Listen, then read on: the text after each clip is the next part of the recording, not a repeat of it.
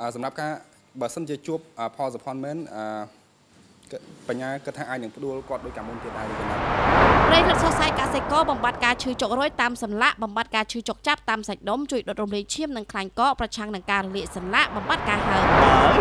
អរគុណបងតសន្យាបាទបាទសន្យាឆ្លប់មើលបាទលុយពិតបាទមិនលុយខ្លាំងខ្លាយបងប្អូន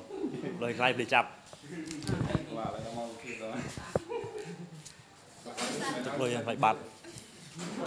បើកលាករបើខ្លះវាយឲ្យវិញវិញដឹងអីទេវិញវាយហត់វិញវិញពេលលុយចាំវិញអត់វាវា100ដងវិញតែម្ដងឯងលុយបញ្ញាអឺប្រកួតមួយនេះ5ទឹកចប់ហើយកន្លងមកលើថាអត់ចប់ទឹកទេម្ដងនេះស្វិតស្វាញមែនតើយ៉ាងម៉េចវិញអឺសម្រាប់ខ្ញុំហោះដងវាយតែ3ទឹកមួយទឹកទីទៅមួយទឹកដល់ប្រកួតនៅមួយទឹកទាំងអស់ហើយដល់ពើ5ទឹកទៅយើងដាច់ស្ទូដែរហត់ដែរ តែមានចិត្តដែលថាយើងមានបេះដូងមានចិត្តប្រកួតទោះអស់មិនក៏យើងអាចទៅរួចកាលពីជួបអឺលើកមុនគឺប្រកាសរកអ្នកខ្លាំងឥឡូវនេះហ្វុនលួនខ្លាំងនៅអឺហ្វូនលងខ្លាយហ្មងនិយាយទៅសម្រាប់ខ្ញុំមិនមិនថាប្រកាសរកអ្នកខ្លាំងអីទេគ្រាន់តែចង់ជួបអ្នកខ្លាំងឲ្យច្រើនដើម្បីអឺយើងកាលណាយើងជួបអ្នកខ្លាំងច្រើនយើងបើហាត់ខ្លាំងយើងបង្កើនសមត្ថភាពយើងហើយប៉ះមួយអ្នកខ្លាំងគឺបច្ចេកទេសគាត់ច្រើនអញ្ចឹងយើងសិក្សាពីគាត់បានច្រើនយើងត្រូវវាយមិនដើម្បីអភិវឌ្ឍខ្លួនឯងបន្តអញ្ចឹងហ្មងចុះមកប្រកួតនេះបានសិក្សាអីខ្លះថា គាត់ហ្នឹងយើងយើងវាបាយហើយអញ្ចឹងយើងវិញវិញគិតទៅទៅចេញចាំមើលមើលវីដេអូថែមព្រោះអីមិញកីឡាករហ្វូនលងបាច់គាត់ល្អគាត់អឺគាត់គាត់កែបិទដួលច្រើនដែរបងហ្វូនលងគាត់មិនហឹងម៉ានទេក៏ប៉ុន្តែគាត់ប្រកែកាច់គាត់ប្រកែឈើជើងមកដួលឈើអីហ្មងគាត់ចាប់ជើងមកគាត់ទាញបវលយើងពីបជុំលេងអញ្ចឹងអញ្ចឹងយើងចង់តែជួបអ្នកខ្លាំងដើម្បីយកបទពិសោធន៍ថែមអឺ និយាយទៅបានរូបអ្នកល្អល្អច្រើនគឺល្អបងយើងបានបោតសោតច្រើនហើយយើងក៏ល្បីដែរបងយើងបាយអន់អន់អត់ល្បីទេបើបាយខ្លាំងខ្លាំងមិនវាបងប្អូនចាប់អារម្មណ៍ច្រើនណាអូគូនេះខ្លាំងប៉ះខ្លាំងល្អមើលយើងប៉ំតាមដានខំឡាច់ខំแชร์អញ្ចឹងបងតែបើយើងប៉ះអន់អន់គូនេះមកតឹងទៅទៀតមិនមើល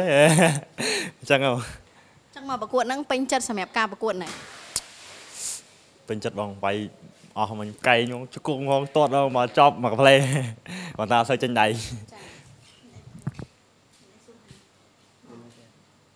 អឺសម្រាប់សម្រាប់បញ្ញា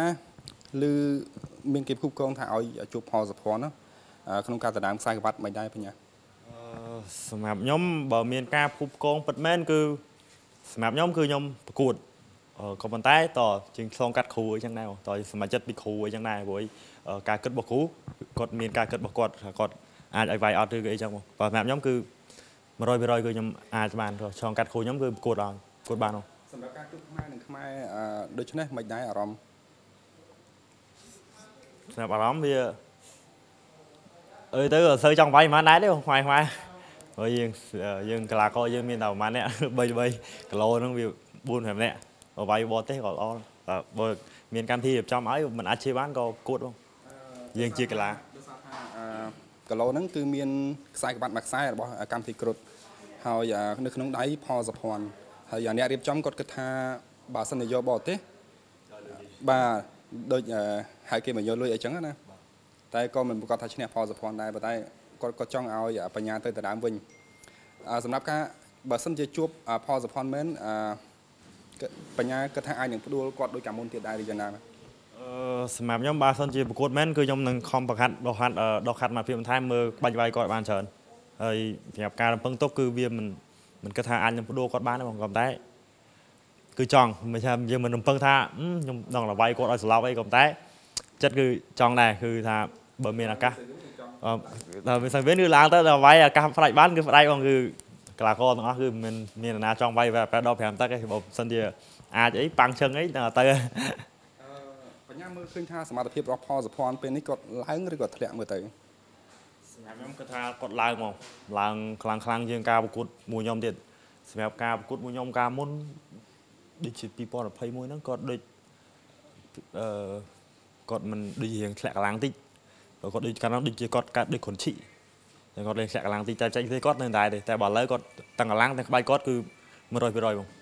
បញ្ញាកាលដូចជាចាំថាឲ្យតែជួបគាត់ដូចជាបែកណាអឺកាលនោះជួបលើកទី1អត់បាយបងលើកទី2មិនបាយបាយលើកទី2បាយធំណាស់ហូចពេលបែកនេះគឺគាត់ស្លាប់បាយទឹក2ខ្ញុំបាយស្លាប់ទឹក3បាទអឺបាទ ចុងក្រោយបញ្ញាមានពីពេចអីនិយាយទៅកាន់បងប្អូនបាទ fan គុណខ្មែរដែលគ្រប់គ្រងបញ្ញាអត់អឺសសសម្រាប់ខ្ញុំអរគុណបងប្អូនអ្នកគ្រប់គ្រងអស់គ្នាដែលគ្រប់គ្រងស្រឡាញ់ហើយចូលចិត្តនិងលើកទឹកចិត្តផ្ដល់កម្លាំងចិត្តឲ្យខ្ញុំរកការប្រកួតអឺអរគុណខ្លាំងមែនទែនហើយខ្ញុំនឹងខំប្រឹងប្រែងវឹកហាត់អភិវឌ្ឍសមត្ថភាពខ្លួនឯងបន្ថែមទៀតដើម្បីប្រកួតគុណខ្មែរជូនបងប្អូនទស្សនាឲ្យអស់ពីចិត្តពីបេះដូងអរគុណ